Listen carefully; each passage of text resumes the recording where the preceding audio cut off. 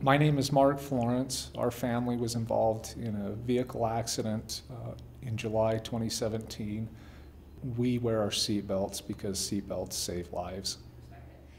We were in Provo Canyon on our way to Park City for a family vacation. We had only we were only about three miles up the canyon when I saw a car.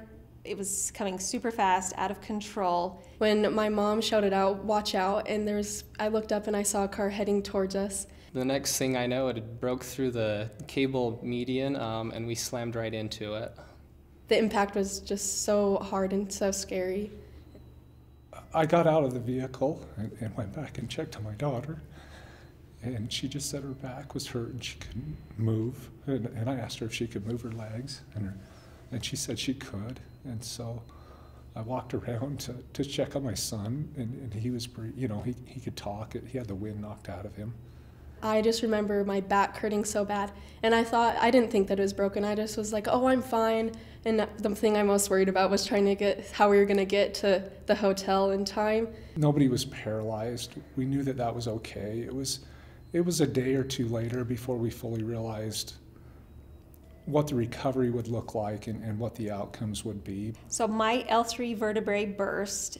My daughter had her L1 and L2 vertebrae separate and had a chunk of her L4 break off into her spinal column. Well, after I realized that I had a broken back, I just was so sad because I knew I couldn't play soccer anymore, and I loved doing that kind of stuff.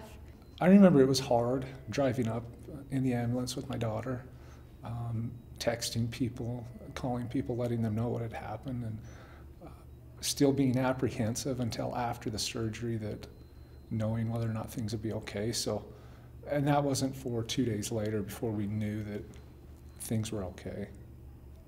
I mean, it just makes me sick to think about what if we hadn't been buckled up. It's just, I mean, it's something you can't even think about. It's just so sickening to think where we would be if, I mean, we would not be here. I honestly believe that. That's just proof to me that, you know, wearing a seatbelt can really save your lives and protect you from much worse injuries or death. Well, just buckle up. It takes a couple seconds, and it but it can save your life, and it can impact everyone's lives around you. And I wear my seatbelt because I want to be with my family.